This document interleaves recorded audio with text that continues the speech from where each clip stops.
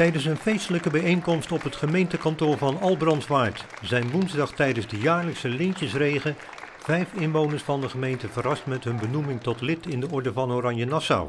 Welkom allemaal. Een volle bak hoorde ik net al aan de linkerkant.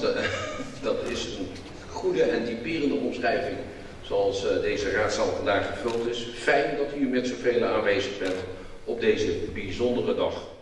Burgemeester Hans Wagner reikte de onderscheidingen uit aan de heer Pals, omdat hij zich al meer dan 18 jaar inzet voor onder andere de hervormde gemeente Roon en de Scouting Stichting Wachtschip 3 Stromengroep.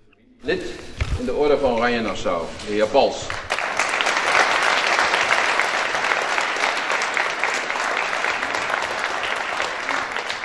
De heer Van Poelgeest voor zijn inzet bij de protestantse gemeente Rotterdam-Zuid en bij stichting House of Hope. Meneer Van Poelgeest.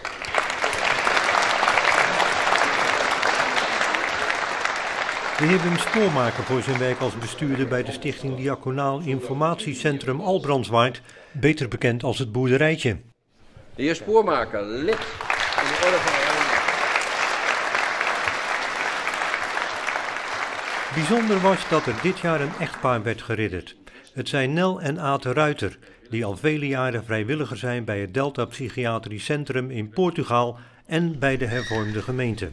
Gefeliciteerd. Lid in de orde van Oranje Nassau, mevrouw de Ruiter.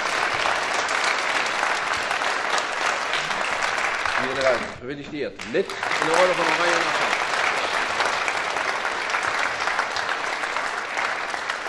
Op Koningsdag kunt u de geridderden feliciteren tijdens de aubade bij het Wapen van Roon.